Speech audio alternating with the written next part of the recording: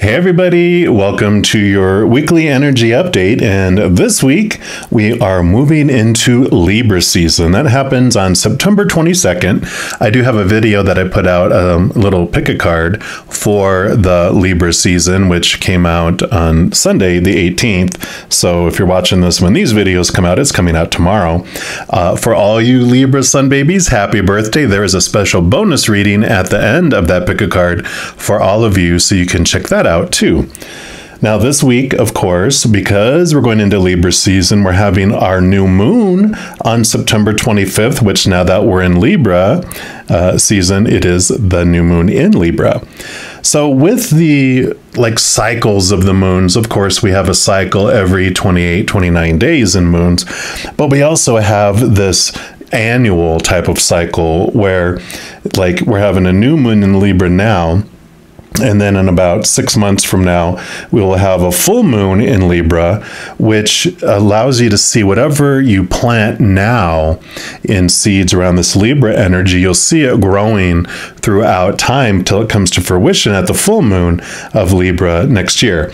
Now, so the most recent full moon we've had in the past was back on April 16th. So if you look around April 16th and see what may be around the subject of Libra energies you were letting go of and you were evaluating and reviewing, you can look and see what has been removed and what you're ready to replant in its place uh, for this next kind of five or six months. So, the Libra energy, of course, is around one on one relationships, which can be romance, friends, uh, partnering with others to help you, or you helping others.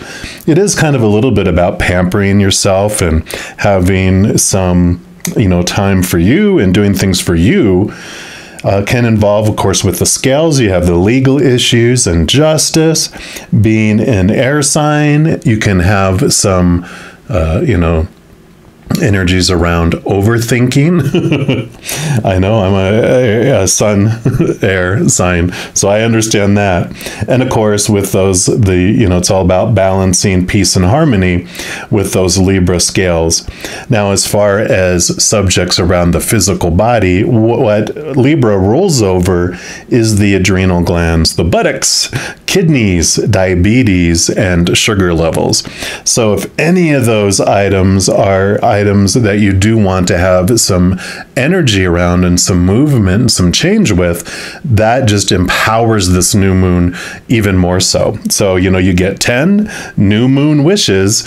Uh, so, every new moon, you get this uh, 10 wishes. And if you do uh, use those wishes around these subjects, it just uh, aligns the energy even more so with helping bring those to fruition.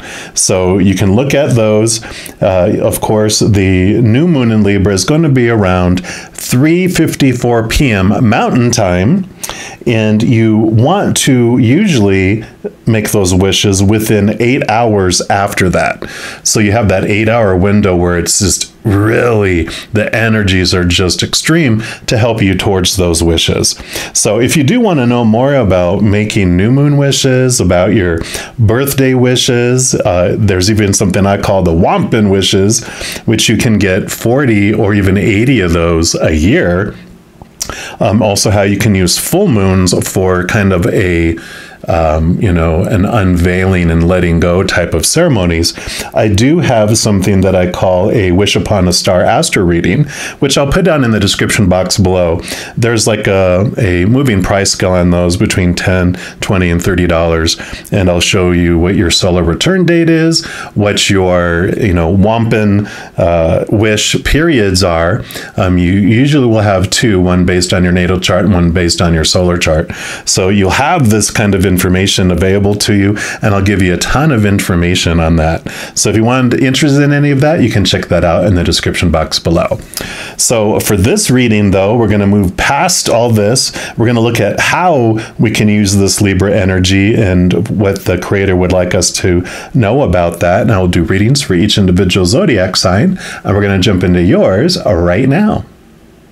All right, Cancer signs, this is your weekly energy update, and we are going to start off by pulling a card here from these Sacred Creators Oracle. Any of the cards I use in a reading, I do list in the description box below. So if any of them catch your fancy and you want them for yourself, you know where you can locate those. So let's give these a good shuffle and we'll find out what the Creator and Spirit want you to know around this Libra new moon energy. Okay, well, there we go. so you have What Do You Really Want? Card number 27. Tell me what you want, what you really, really want, right? that song's going to be in my head now, but that's all right. Uh, hopefully, it's not going to stick in yours too long. Sorry about that. and let's take a look here. So it says, What do you really want? Really? Beyond the parameters of what's possible and what's likely, and beyond any constraints of time and money, what do you want? Regardless of your current situation and regardless of what you wanted yesterday, what's that big sacred dream that stares back at you when you allow yourself to indulge in magical thinking? If it seems like the dream is too far away to accurately conjure up in your mind's eye, then you've got some work you can do. This journey, your spiritual and creative trajectory towards your what with your why in tow, is your life. It's time to ensure that you are enjoying it and that all your efforts along the way are working together to build that ideal reality that you have chosen. Be mindful that you are not toiling away at a tiny, superficial, or safe version that could never bring your soul the joy it desires. Be mindful of spending energy building something that will never be enough. Instead, define what success means to you and know how you'll feel when you've reached your goal. What do you truly desire? Only by clearly defining it can you finally see the path that will take you there. Wow yeah so definitely some clarity around here of finding what it is uniquely you want to do you know what's your what is your dream? Not what someone else's dream is that they handed to you but what is your dream for your life? And uh, how will you feel when you get that thing? I, I usually say if you wake up in the morning going oh crap i gotta go live my dream today then you know that's not your dream. It's someone else's dream that you took on as your own at some point in your life. But this is about you finding what you really want to do and we'll have have your Ask Your Guides Oracle here, and we will see what they have to add to this dream life for you. All right. There we go. All right. So, what else for our Cancer signs? What else did you like them to know? Okay, this is the one right here. you've got leadership, and you got the Holy Spirit. So the spirit world is definitely chatting it up. That is card number 51. Whoop.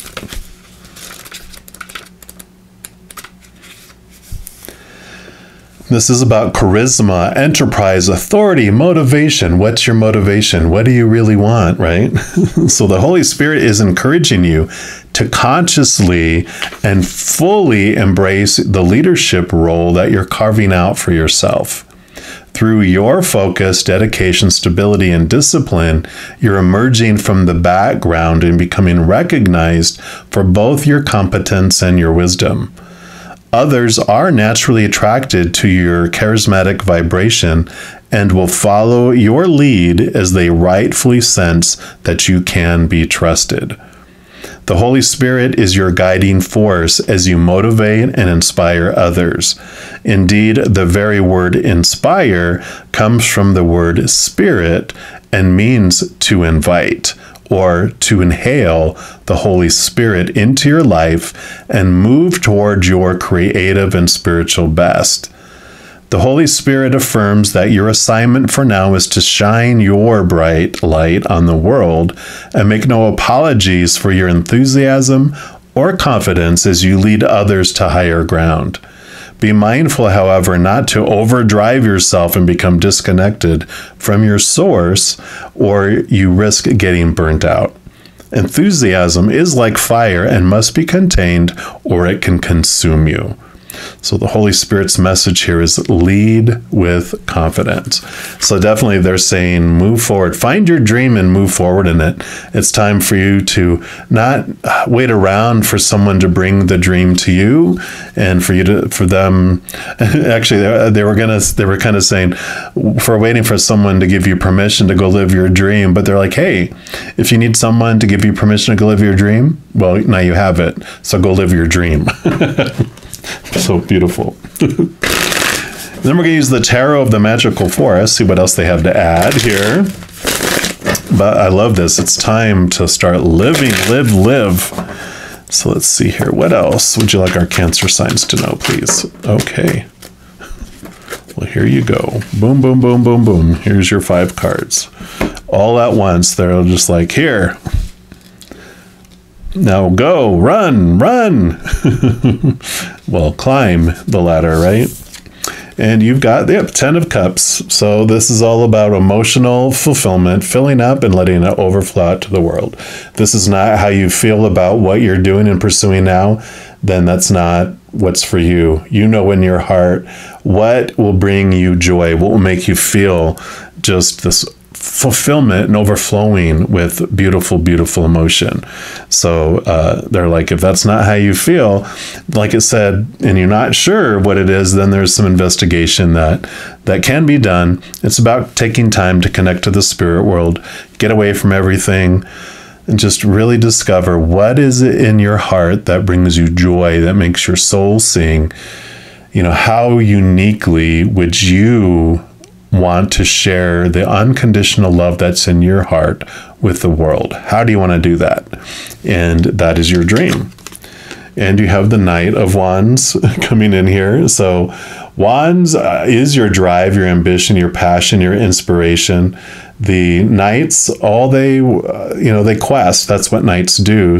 And this knight quests after the Ace of Wands, which is new beginnings, it's new energy, it's living your passion, it's finding that new passion. So you're on this quest to find the passion for your life. I mean, it's all here.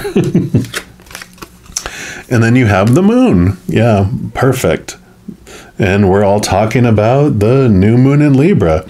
So the new moon energy is definitely making itself known here, and this is about the unknown, the subconscious, uh, diving deep into what you don't see, connecting to the higher realms and uh, you know because we are so much influenced by the phases of the moon because our human side is made up of a lot of water. And so like it affects the tides of the planet. It also affects our, uh, the tides of us.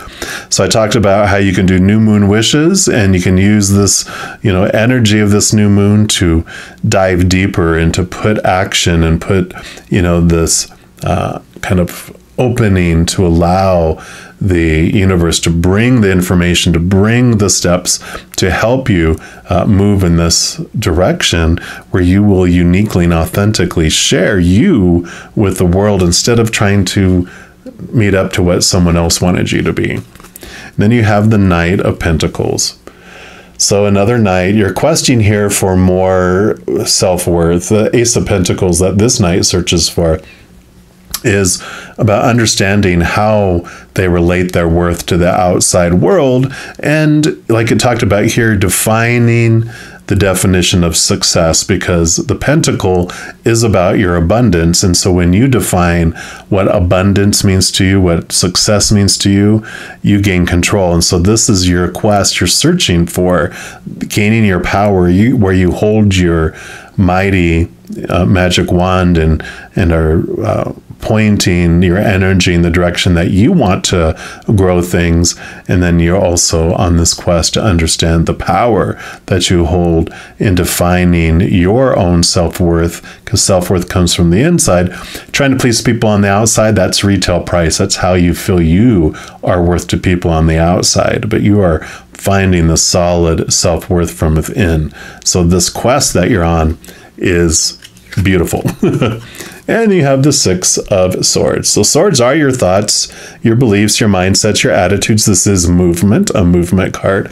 And by the way, the Knights are movement. So, you have a lot of movement that's going on where you're leaving things behind that no longer serve you and moving into new locations. These are that you're leaving old thoughts behind that no longer serve you and beliefs, and you're moving forward into calmer waters. But um, all of these represent movement, all these three.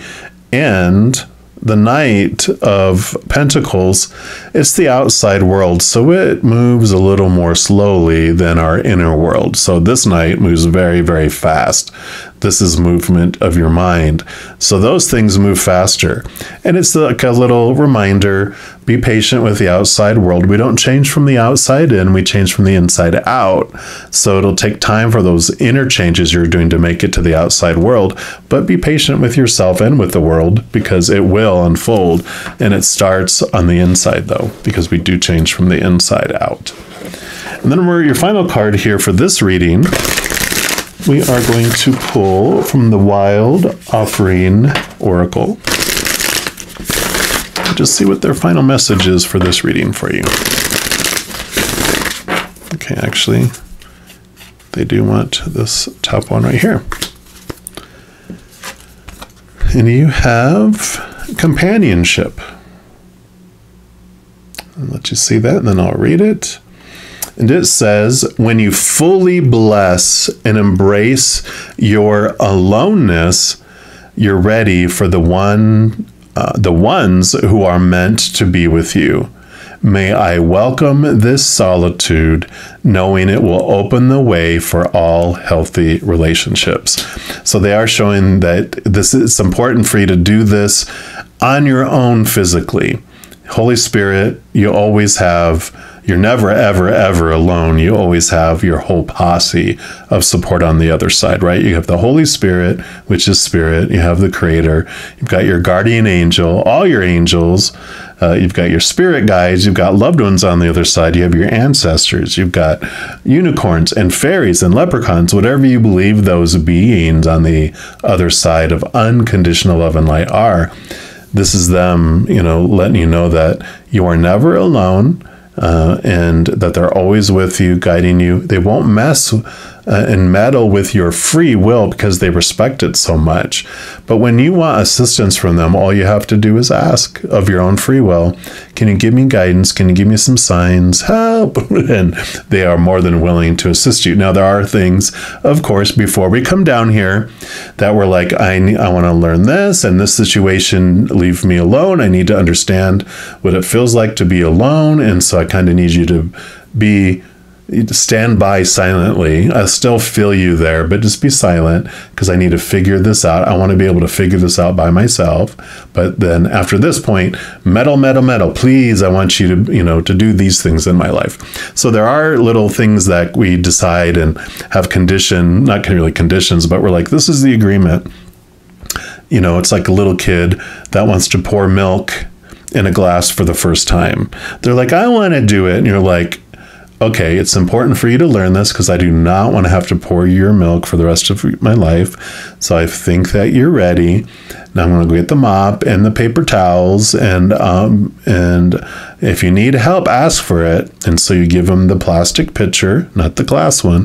They're going to give you the plastic pitcher and the plastic glass, and I go, okay go ahead. And then there's going to be spillage, you know, they know it, but the little child wanted to have um, themselves to, to, try it. And we offered, if you need my help, just ask for it. And so when they're like, oh my gosh, I'm about to spill everything, help, then they'll help, you know. But if they're like, no, no matter what, even if I spill the whole thing, I want to do it, then you're like, okay. And then more milk ends up on the table than it does in the glass. And that's okay. They get better and we learn and we grow, right? so that's kind of what they're saying. So I love this message for you. They're being pretty, pretty funny today. So Uh, if you are looking for more messages of love from above, in addition to these weekly energy updates, I also put out monthly readings for each individual zodiac sign and a few other types of videos throughout the month. So if you don't want to miss out on any of those and be notified immediately so you don't miss out on them, uh, if you give this video a little thumbs up and you click that like button and then also click the subscribe button, uh, it'll give you access to that little notification bell. And when you go in there, there is an option for all. And if you select that, then you'll be notified of any new videos that come out on this channel immediately. Also, doing those things, it does help spread the love and it does help my channel grow in significant ways. Because when you like a video or you share a video, comment on the video, especially subscribing to the channel, uh, doing all of those things makes the YouTube algorithm so giddy happy. It does want to share the videos of this channel with other people as well. So if you feel inspired to do any of that, I am so very grateful. Also, these are general readings, and if you're looking for even more specific information and answers for your specific life, I do offer personal readings and actually on a sliding price scale, which means you can choose between a few different price points on what you want to pay for one of my recorded readings, and all that information is listed in the description box down below. All right, all of you Cancer signs, as you go throughout this Libra new moon energy, please know every second of every day of your life that you truly are unconditionally loved by the creator of all things. And of course, I also love you too. You have an amazing week. I'm sure we'll be talking soon, but in the meantime, you hang in there and you take care.